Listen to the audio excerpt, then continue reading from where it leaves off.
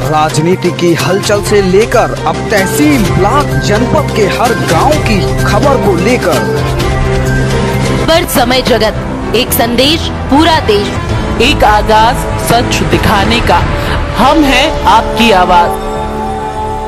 आठवीं बार के विधायक बनने जा रहे अजय सिंह ने महाकाल बाबा के दरबार में आकर उनकी पूजा अर्चना की और आशीर्वाद प्राप्त किया।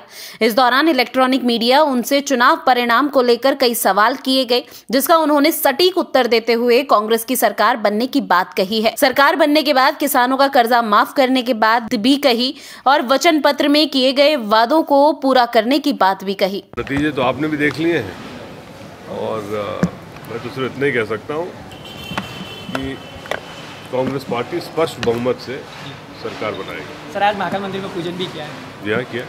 क्या क्या सर क्या कुछ मैं चुनाव के पहले भी राहुल जी के साथ आया था इसी महाकाल मंदिर में। जी। बाबा से प्रार्थना की थी और आज धन्यवाद दिया बाबा ने सुन ली सर? ग्यारह को पता ही चल जाएगा आपको हमारी तो सुन ही ली है। सुन ली सर। सर एक एक सवाल और कि डिप्टी सीएम में आपका नाम चल रहा है ऐसी कुछ खबरें आ रही है डिप्टी सीएम?